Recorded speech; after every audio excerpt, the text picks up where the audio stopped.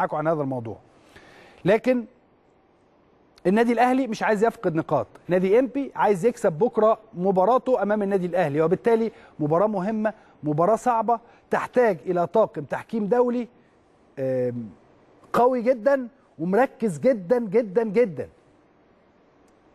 لا يتأثر بالضغوط لا يتأثر بأن حد يطلع يتكلم عليه في التليفونات لا يتأثر. بالمناسبة إحنا ممكن نجيب لحضراتكم الساعتين اللي جايين أنا عندي حلقة ساعتين مثلا.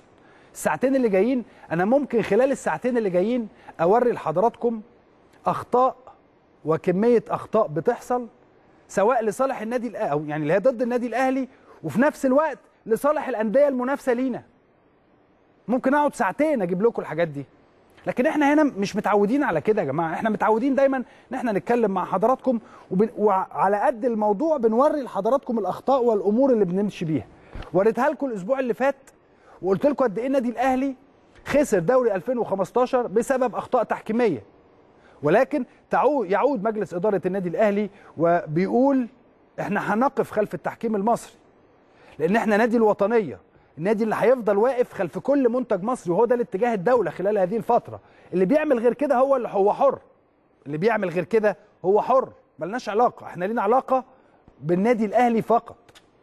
لكن كمان بتطلعوا تضغطوا على حكام آه، اللي عايزين يحكموا النادي الأهلي أو اللي بيحكموا للنادي الأهلي وبتحسسوهم إن هم غلطانين وبتحسسوهم إن هم وحشين وبتجيبوا لهم أخطاء سابقة. بالمناسبة ممكن أجيب أخطاء كتيرة جدا ل...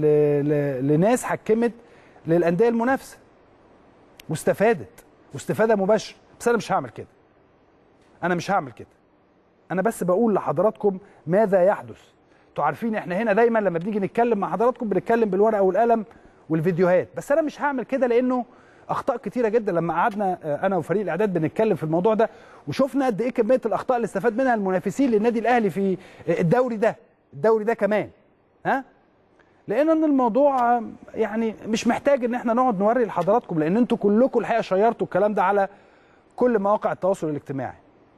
وبالتالي أرجو من لجنة التحكيم آه، لجنة الحكام في مصر آه، بقيادة الكابتن عصام عبد الفتاح إن هم ياخدوا بالهم من المباريات القادمة وياخدوا بالهم مش مباريات الأهلي فقط. طبعا مباراه النادي الأهلي وإنبي بالنسبة لنا هي الأهم ولكن في مباريات أخرى كتيرة جدا تحدد من سيكون في الدوري ومين هيبقى بره الدوري أو هينزل الدرجة الثانية ولازم يا كابتن عصام خلال الفترة اللي جاية يبقى في تخفيف الضغط على الحكام.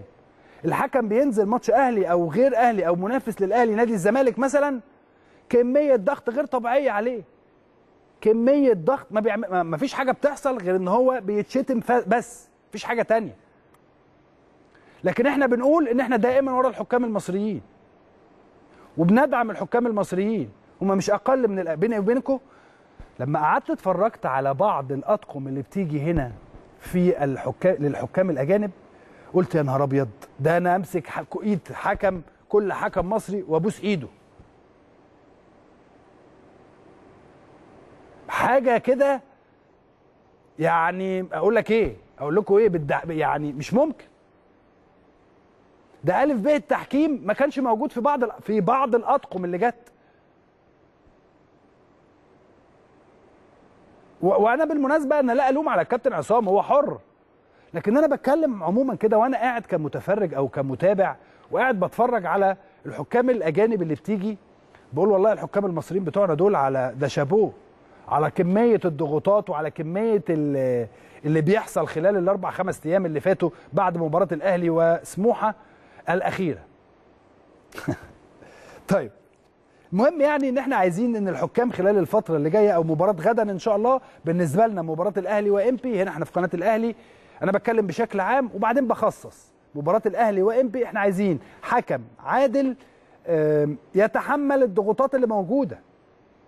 وأنت يا كابتن عصام لازم يكون ليك دور في إن هم يشيلوا الضغوطات تشيل الضغوطات اللي موجودة على الحكام دي. كل واحد يطلع يشتم ويتكلم ويقول ويعمل. مش كده؟ ده اولا ثانيا. الحقيقة بعد مباراة النادي الأهلي وسموحة بعد مباراة